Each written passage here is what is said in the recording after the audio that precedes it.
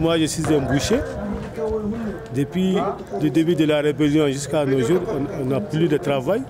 À défaut d'animaux, les propriétaires d'animaux, ceux qui sont disparus dans la brousse, ne viennent plus.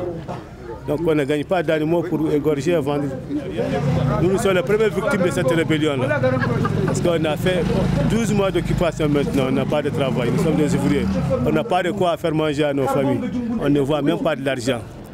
Pour gagner des sous, tout un tas de probabilités, il faut partir jusqu'à Bamako bien, faire téléphoner à Bamako à un parent ou bien à un ami de t'envoyer de quoi faire avec les condiments.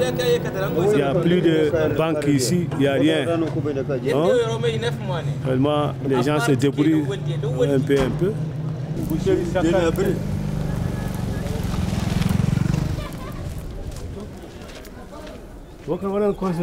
Il n'y a pas de clients pour payer la viande et les clients aussi, c'est à défaut d'argent.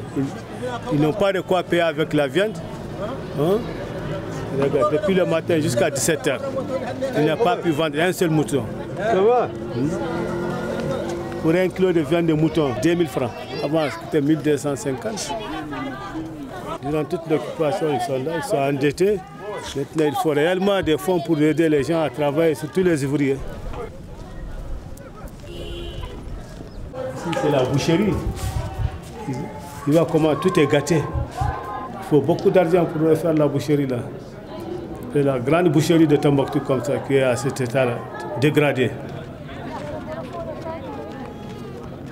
Les gens souffrent du manque de travail. Vraiment, on est, on est, on est trop fatigué. Pendant les 11 mois d'occupation, on a souffert.